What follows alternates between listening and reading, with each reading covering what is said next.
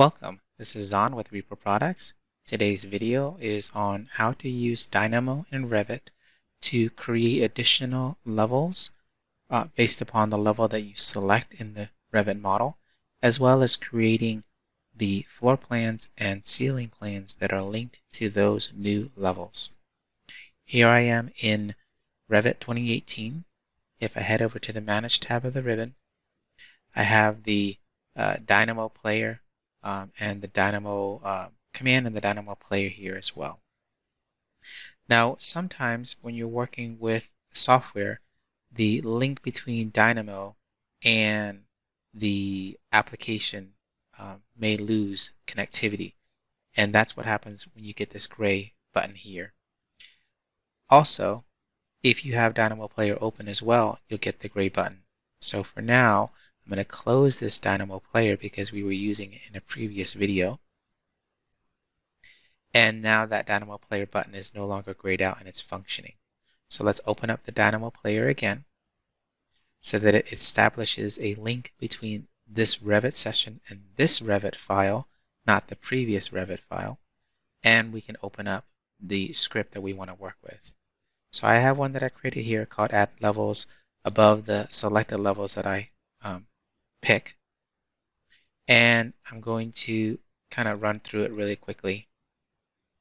And in this particular one, it has a description of tells you what it does and who the author is. And I got this one from Autodesk. This is one of the sample files that comes with the software.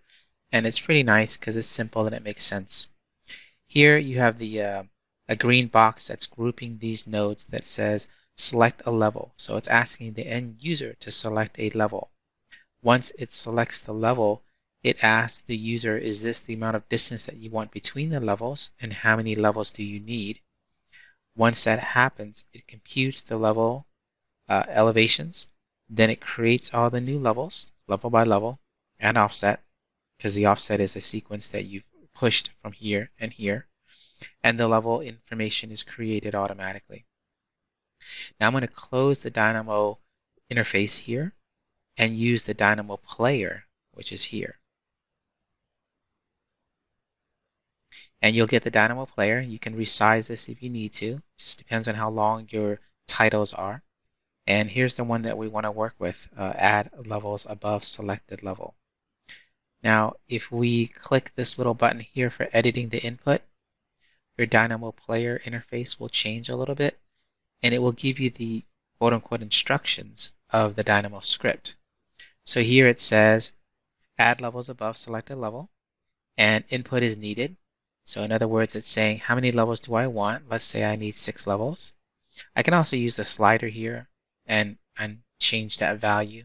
But if you use the slider, you can get a lot. You can get 100. Um, so let's not do that. Let's just specify a number like say 6. And then the distance between the levels, you specify whatever you want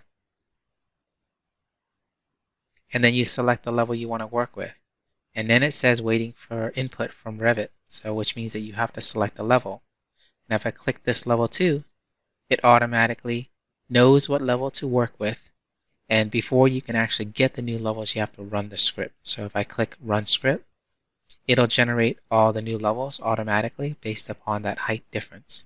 And it's created and they also give you the specific Revit um, ID number for those objects.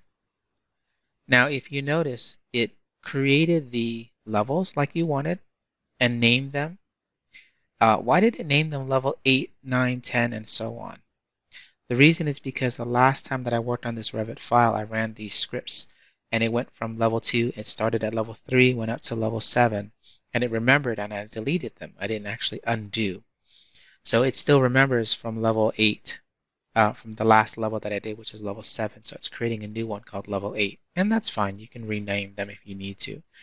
Um, if you want to, you know, really make sure that it's reading level 3 moving forward, then what I would do is I would undo your work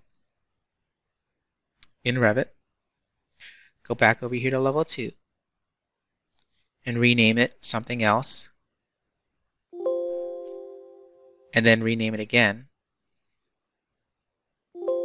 So that way Revit remembers the last level that was created or modified. In this case, it was modified. So let's run the script again. I'm going to select another level, select level 2, and run the script.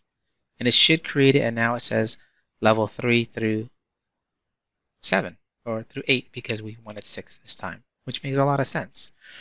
What about the um, creating the floor plans and ceiling plans that are attributed to these levels? Because if you notice carefully, these two levels are blue, which means that they're links to the plan view and the ceiling plan views.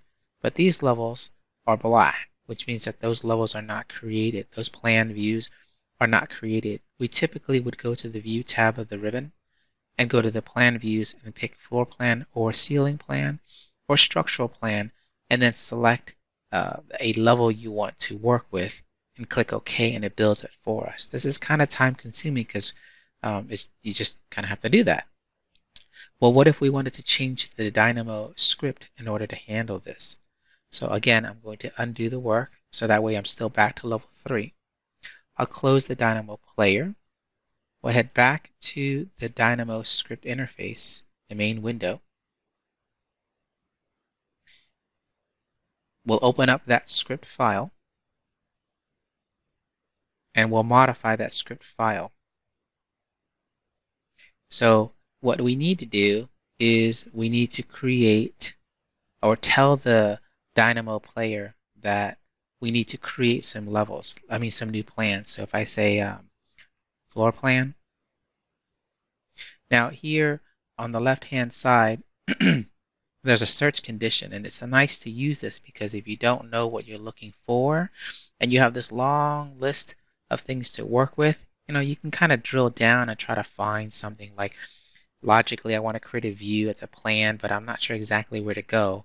If you just start typing in the search, it'll start um, going through this entire master list and help you out. So I know I need to create a plan view. So I'm just going to say floor plan. And automatically it gives me some commands, floor plan by um, uh, floor plan by room, by level, um, and then, uh, so I do want that. I want a floor plan by level. So if I click it, I get that right here. And then I want uh, maybe a ceiling plan. And so it says uh, ceiling plan by level, and I select that as well. Okay. Now, if we look at the script uh, and we look at the nodes, it's saying here's the ceiling plan by level. It'll create the ceiling plan, but it needs to know what level. So how do we tell it what the level is? So if I click this and I place it here, it connects this level output node to this level here. And the same thing for the floor plan and I'm going to place them like this and like this. And the reason I want to do that is because I want to pin down the visual results so that when you run this script, you can see the results. So when you work with Dynamo, especially when you're just learning, it's going to be a lot of trial and error. Okay, and what I mean by that is you'll have to actually run the script and see what happens and see what the errors are, and it'll you'll go from there. So let's minimize this a little bit again.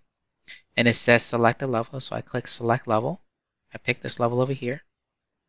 Now that that level has been selected, it knows what that level is and what that ID number is, says 9946.